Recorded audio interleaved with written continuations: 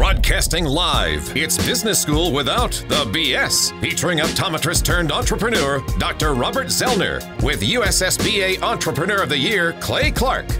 It's the Thrive Time Show, let your boom begin. Where we drop knowledge bombs for you in Portland. Proven systems to make your ends so you can produce the greenery like all of Oregon. Soon we'll call you Franklin cause you got Benjamins. We'll call you Ben Plural cause you just bought a Benz. And then you'll be bragging to your wife and kids that your wallet's overweight but it used to be thin. Bumps away, this is Clay broadcasting with the Zen with the focus locked in like San Quentin. Can I get a B to the O, O to the M? You've heard the rumors he is I and I is him. The Z and I be the C. Now let's teach him business skills from Clay to Z.